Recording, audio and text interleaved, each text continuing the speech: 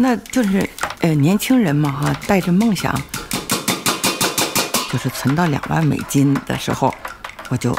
放弃呃这个在加拿大的啊这个生活，我要回国去创业。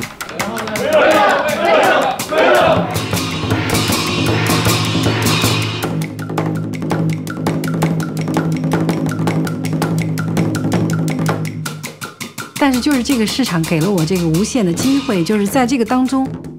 我能够自己通过自己的不断不懈的努力，去证明给这个世界看，说给这个市场看，说我可以做得更好，我可以做得更大。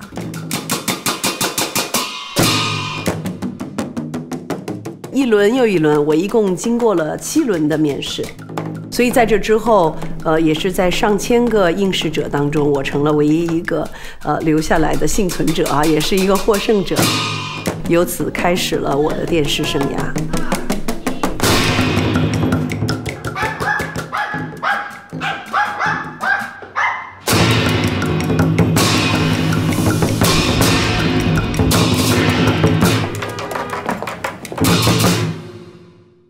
就是那还是这种镜头，你看，我连一个整体的这个产品给我的整体的印象都没有。这个这个不行，我看完这片我都根本没有印象，也没概念。刚去了。